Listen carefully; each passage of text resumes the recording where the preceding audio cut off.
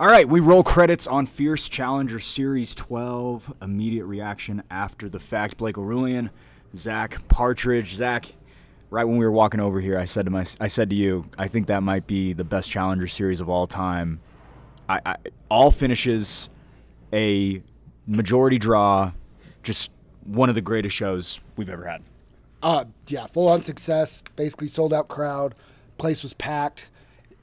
we were just talking about how it's there was literally so many people here. The AC couldn't keep up with it. Everybody was dying, needed a drink. It was fun. The energy was good all night.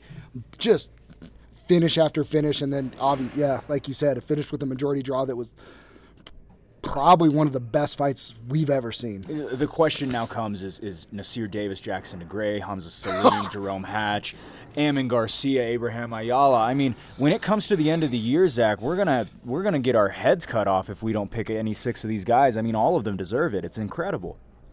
I mean, yeah, it. we'll talk about it. Kane Iman, taking care of business versus Carson Newman in the amateur heavyweight kickboxing bout. I was talking to Eric Iman after the fact, and he was so proud of him. It was great to see them in the cage together. And Kane Iman looks as legit as anyone. Just really like, man, when he lands, he lands with power, a lot of stiffness, a lot like his dad, you know. Um, very similar style. I was just blown away by Carson's toughness in that fight. I mean, dude, he just refused to stop. And there was times where, I mean, he was hurt on his feet and he just kept pressing forward, shoving Kane back, trying to create space, trying to land his own shots. Um, just showed a ton of heart, a ton of, ton of toughness. And um, I am now more convinced than ever that his first fight was stopped too early because he's a dog. And, you know, he just, and he showed that, man, he'll go out there and compete with anybody. Um, yeah, uh, Kane, Kane, delivered. Congrats to him on a kickboxing fight. Um, I would love to see him in an MMA fight next. Some smaller gloves for the heavyweight would be fun. Yeah, Carson Newman looked incredible as well. So much better than obviously how that first one went. Tayson Royer gets the job done versus Ben Evans in speedy fashion. When we saw Ben Evans last time, it went to a decision, or I'm trying to remember. I believe it went to a decision. This time, Tayson Royer gets it done early in the first round. Uh, Tayson looked fantastic. Didn't look like a debuter to me. I mean, that kid was composed, collected, and measured. Um, that was one thing. Even Ben, I went into the cage after him. Ben was just like, whoa. And he's been in there with a couple really tough guys, and he clearly had not been hit like that before. And uh, that was a very impressive performance by Tayson Royer. Just a big indicator that Ben Evans, I think he has a ton of heart. I think he has ability.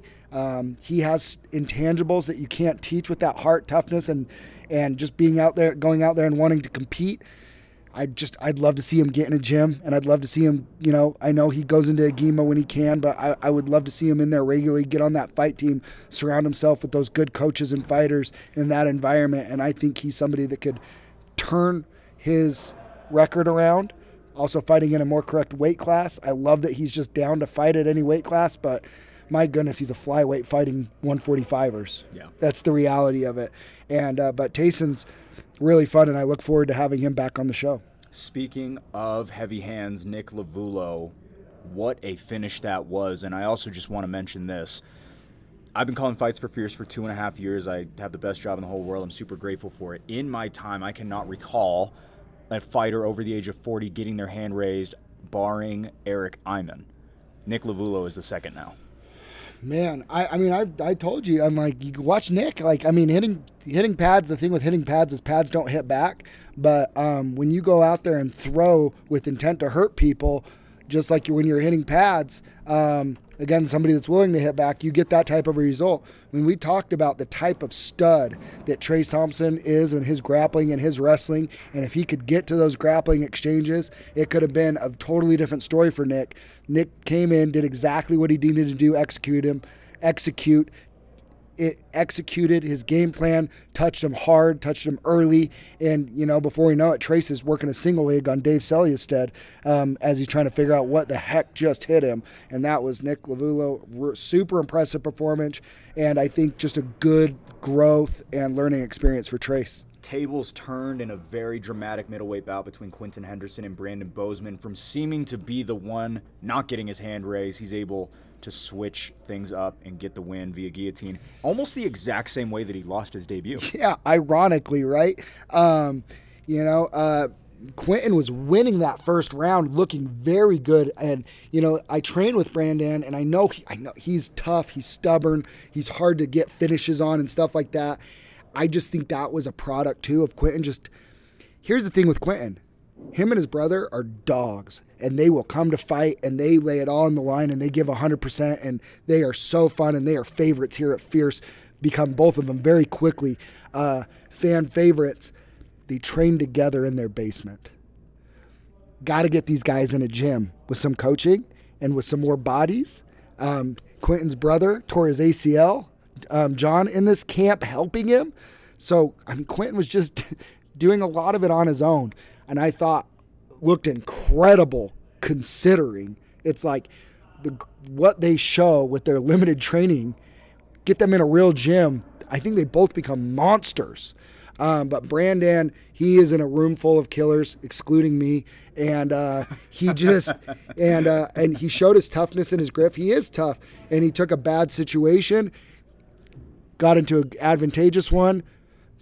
You know, got got the nice little got the nice little uh, ripped me off ninja choke there, and uh, everyone from one hit was doing that tonight. Dude, by the way, Ammons was so close, so close, but. Sam Odekirk taking care of business as well at 115 pounds versus Mally Rahimi in a solid debut for her out of Lobato MMA. Well, I would say this um, with uh, Sam. She um, she did some really nice things. She looked a little hesitant, a little uh, at the very beginning, but once she got into her flow of things, and once she started letting those hands go, she threw a laser beam of a right hand, hurt Mally, uh, jumped on her back. I thought, I thought, I, I'm, I wasn't sure why it was stopped when it was stopped. Uh, Mally, I don't think she was out. I don't believe that. I didn't see a tap. I don't think she did tap.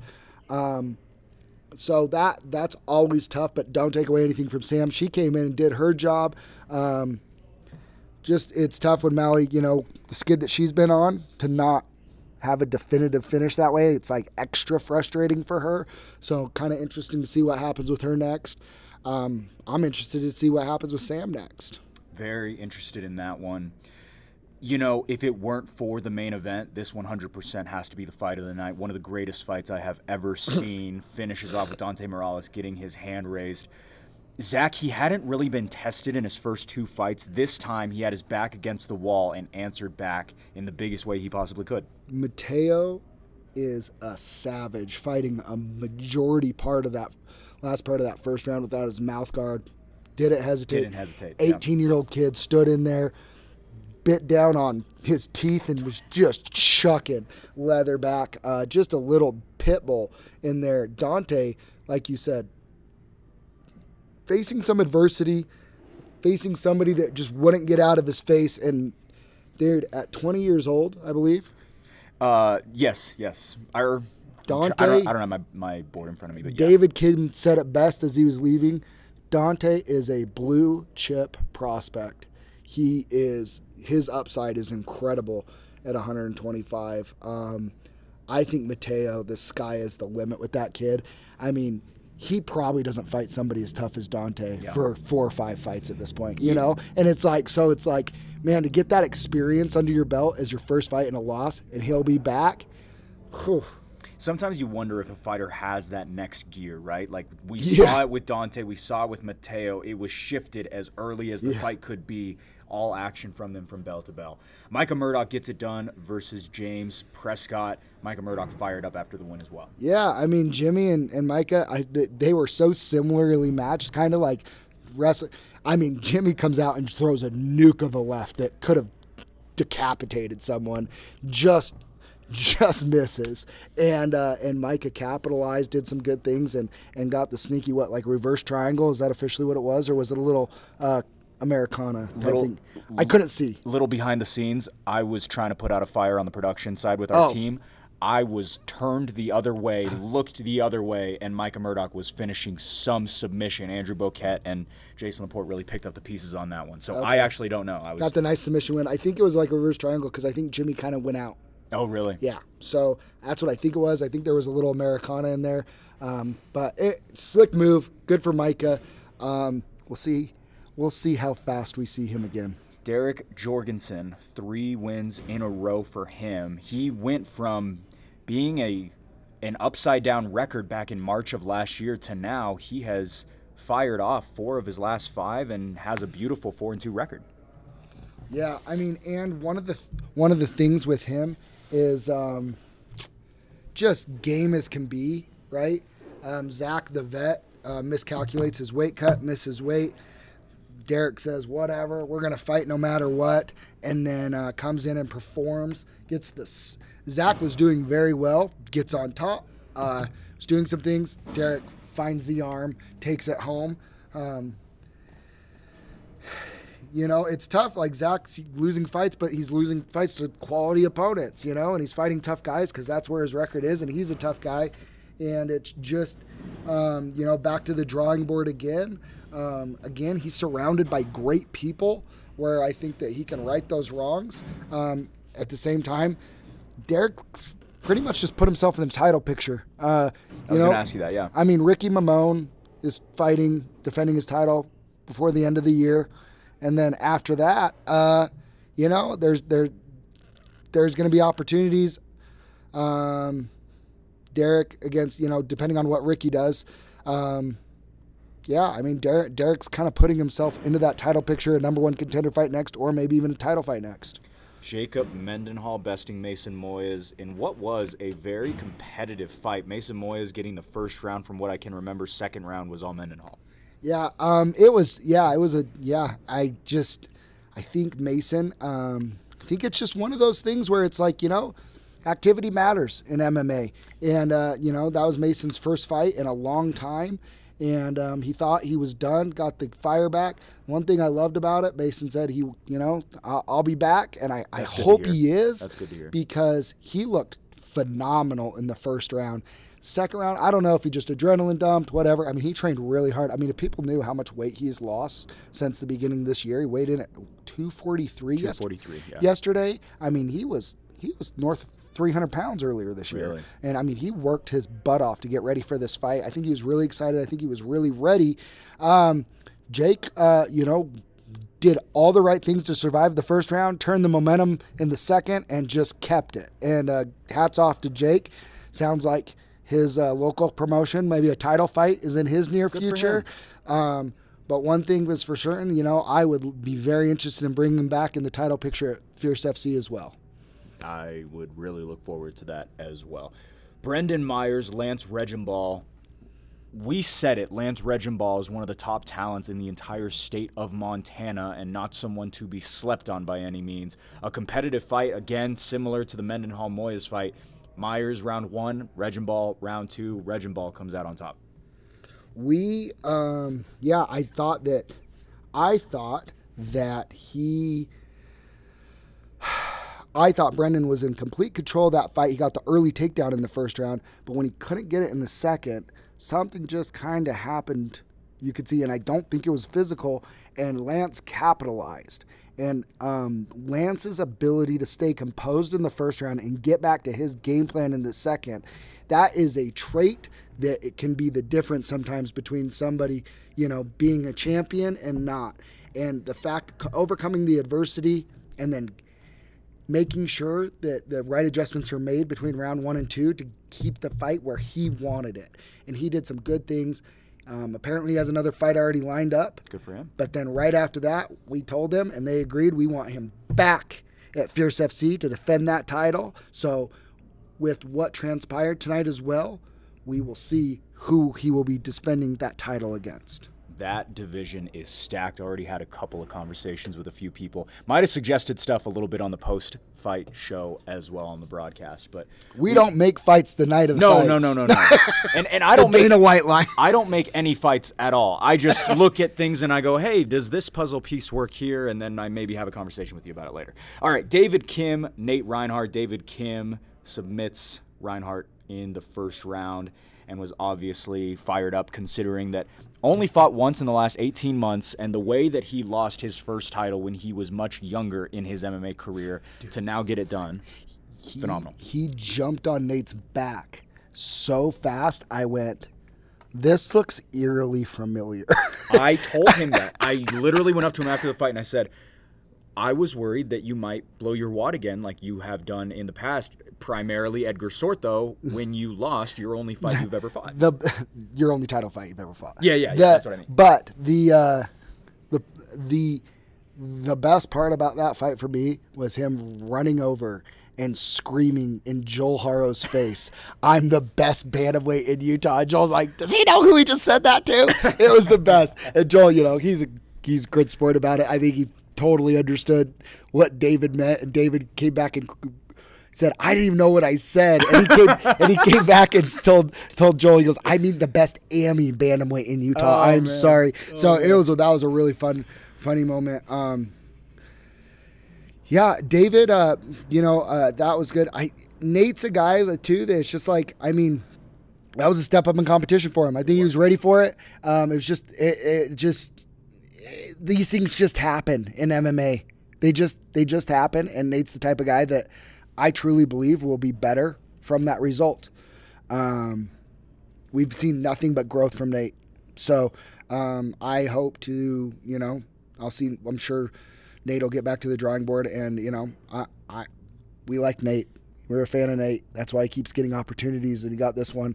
And I'm sure more opportunities in his MMA career are to come. Hard fight to watch for me personally. Love David, love Nate. Both of them great Yeah. guys in their own right. Super, super fun one at 135 pounds. 11 incredible fights, Zach. Heavily shaded by what was another fight of the year contender, Abraham Ayala, Ammon Garcia. Delivered beyond measure, I think, of any main event I have seen in quite some time. I mean, I might be biased, but I think Ammon's one of the best prospects in Utah. I mean, I'm- don't think I'm biased. I No, think most, no, I think a lot of people I think most people understand that. And for him to fight a guy like Abe for his pro debut, I think showed that. Um, Abe is a seasoned person that's been training. I mean, Abe's been Abe was, Abe was halfway through his amateur career before Ammon was even started training. And Ammon was the better fighter in that fight, I believe, the more skilled fighter um, in a lot of ways.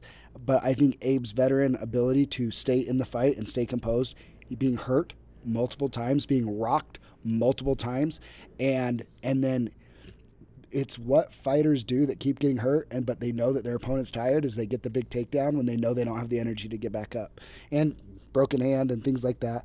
Veteran savvy move by abe. Um, i hate i hate 10-8 rounds without more damage or submission attempts or more moments of maybe almost finish the fight it was just a lot of control time um, me and the athletic commission uh, had a little disagreement about that at the end of the fight, and that's fine. I had a personal bias, and I have one of those in my own record, a draw that was very similar. Won the first two rounds pretty clearly, and then a guy laid on me for the third round, doing very minimal damage, but he did a lot of control, and he did a lot of it for most of the round, and Ammon just didn't get enough offense off in that round, and um, is what it is. Ammon obviously injured, uh, broke his hand in the first round. Love to see him back, and I, I'm not. I'm not kidding. Um, I want to see it again. When Ammon's ready to go, I don't know if it's the first fight back, but and I don't know where Abe's going, but I want to see that fight again, and I want to see that fight finished. I love Ammon Garcia. Getting to meet Abraham this week He's has been such an a absolute good guy. pleasure. He's such a good dude. He really coolest guy. Ammon was making me laugh till my stomach hurt at weigh-ins all day yesterday. Such a fun matchup and such an incredible card. The full card will be up in a couple of days. Individual fights will be up later this week. Zach, we got to turn this thing right around. I will see you in just less than a week as we head over to Bear Lake for Fierce Challenger Series 13. Another stacked card once again. Hopefully, it can live up to what we had here tonight. I mean, I don't know how I can live up to that, but if anybody can do it, it's it's what we got going on. We got some announcements coming out, some matchup changes. Uh, we'll get some contracts out, let everybody know what's going on. But Bear Lake, everybody that you you need and want to see up on that card is still intact. So uh, I'm I'm excited to go up there. Oh, oh, we have a huge announcement that's coming in the next couple of weeks. We have oh. some big things to announce before the end of the year. So stay tuned. Okay, now we can go to bed. All right. Good night, everybody. Thank you so much.